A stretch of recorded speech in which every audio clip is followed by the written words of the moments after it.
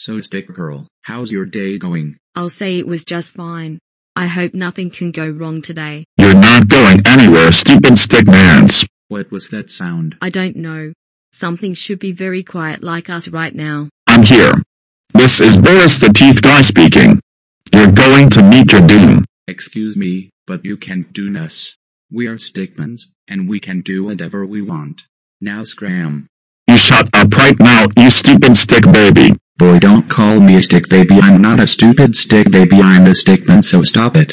Well, that's how you want to play it. And guess what? Face my teeth. Face it. Way.